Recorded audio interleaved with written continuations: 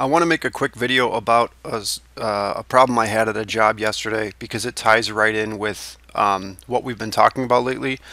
Particularly the first video I made on metering circuits, um, which was tracing down an open on a Hornstrobe circuit.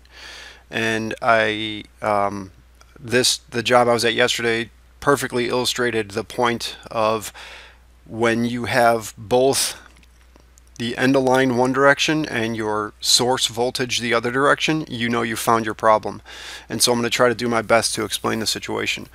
Um, so I was on a I was in a high rise, and this is a uh, good enough drawing of about the type of suite that I was in. So um, this area down here was a, a, common hallway which extended on beyond um, what you've seen here. The suite, let's say the suite was like a quarter of the building. So if you imagine you're looking at a quarter, not of the building, but of the floor.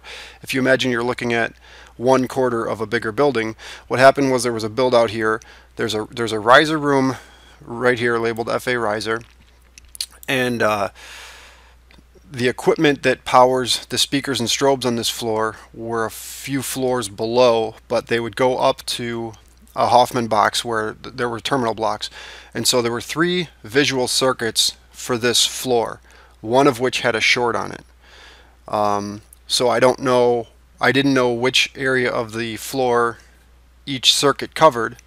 Um, there was one speaker circuit that would hit the whole floor and then have an end line, and then three separate visuals. So what I did was I went into the suite and took down one of the strobes because they had a mixture of speaker strobes and just strobes. So the SV here is speaker visual and then the V is just visual. And so my first thought when I when I when I took down the first device I had two two ohms. So I don't remember which one I went to first. Let's say I went to this one first and I had I had two ohms. Or maybe I went to the riser closet first and, and saw that you know the short was about two ohms. Um, so my first thought was somebody wired a visual circuit backwards, not a speaker visual, but a visual, a visual. And the reason is these were Wheelock devices. Um, the speaker strobes, the way they get wired up, at least the model that they're using on site, um, I should have had a drawing of this ready, but I don't. The speaker strobes, basically there was one terminal for positive for the strobe, one terminal for negative, and then the same with the speaker side of it. One terminal for positive one for the negative. So they didn't split either the positive or the negative. and so I didn't think it was very likely that that was a mistake. What I was expecting to find if you know how the Wheelock STR strobes get wired the bases look um, like these white bases here. And so the positive side of the circuit gets split when you put the device up. So if you had, you'd have a red wire coming in here and then a red wire leaving going to your next one. And when you put your device up, the device itself completes that circuit. And the point is, if you take the face, uh, the actual device itself down, it should cause a trouble. So it's their way of supervising that the device is installed properly. So my first thought was instead of splitting the positive, which is what you split on the Wheelock devices, somebody made a mistake and split the negative. So effectively, once you put the strobe up, you're you're you're you know wired positive to negative. So that was my first thought. So real quickly, I just popped down all three visuals inside the suite, and um, none of them were wired incorrectly. So I thought I'd get lucky. I didn't.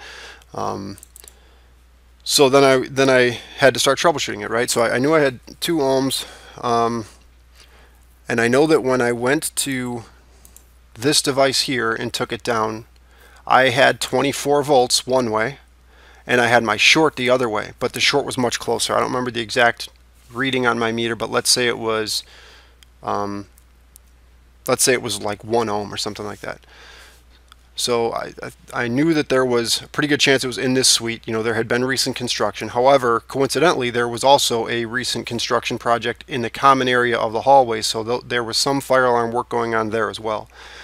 But when I got to these two is when I noticed a difference. So I had 24 volts. Uh, these are back to back. So picture one piece of conduit coming down the ceiling and then two boxes back to back, right? So you've got an in and an out. Um, hits one device, goes to the next device, and then goes back out. At one of these horn strobe, or I'm sorry, it was just a strobe, I had the 24 volts present, but my short was towards the end of the line, and on the other one, I had my end of line present and my short was toward the voltage. So I knew that I was right on the problem.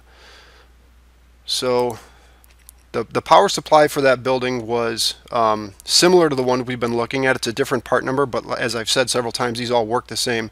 So if you've heard me saying I had 24 volts, the reason is um, the power supply that I was using is a Honeywell HP FF8CM and those put out even their supervisory voltage even though the polarity is reversed it puts out 24 volts um, we were using the nice thing about that model of power supply is they have another they have a terminal where you can install um, a reference resistor. And so you don't have to use one specific type of resistor. You get a range.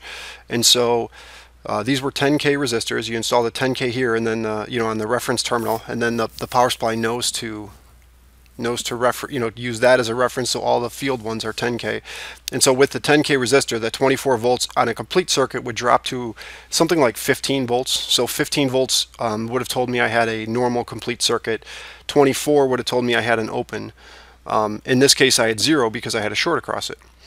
Well um, these are the back-to-back -back strobes let's say. So imagine you have um, imagine you've got you know your your pipe coming this is your pipe and then your wires you've got a, a negative or I'm sorry a positive coming into one device leaving going to the other and then going back up and onto the next device. And then for the negative that one doesn't get split so you go to the negative terminal you go here and then back out.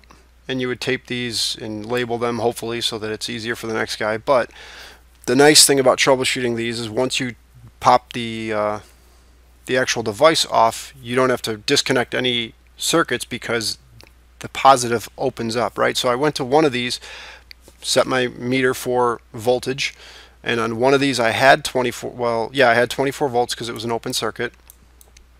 And then on the other pair, so I should draw this, I guess.